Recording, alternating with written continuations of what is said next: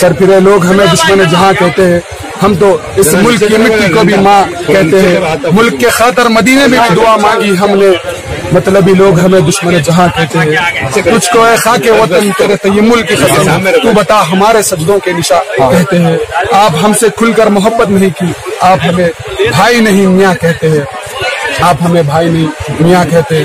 اگر دنگائیوں پہ تیرا روگ نہیں چلتا تو سن لے اے حکومت، ہم تجھے نامت کہتے ہیں۔ ہماری وسی بارکس کی جانب سے ہم سب ذمہ داران اسی انار کے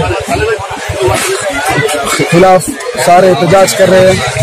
ہر جمعے کو احتجاج کر رہے ہیں اور اسٹیٹ کے ہمارے سی ایم صاحب آپ سے ادب گزارش ہے کہ آپ کچھ ایکشن لیں اسمبلی ڈیزرو کریے اور بلائیے کہ آپ بتا دیے کہ سیکولرزم کے نام پر آپ واقع میں اگر سی ایم ہیں تلنگانہ کے سی ایم ہیں تو آپ یہاں پر جتنے بھی ہمارے یہاں بھائی پروٹیسٹ میں شامل ہیں، آپ ان کی مانگ کو سنیے اور آپ اسمبلی اجلاس بلائیے اور اس بل کو آپ ریجیکٹ کریے۔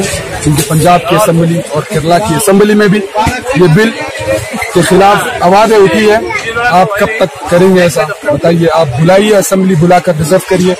ہمیں بارہ پرسنٹ ریزرویشن کی بات بھی ختم ہو گئی۔ ہر طرف سے ہمارے مسلمانوں پر ظلم، یہ M P R N C R کب تک ہم پر ظلم ہوگا؟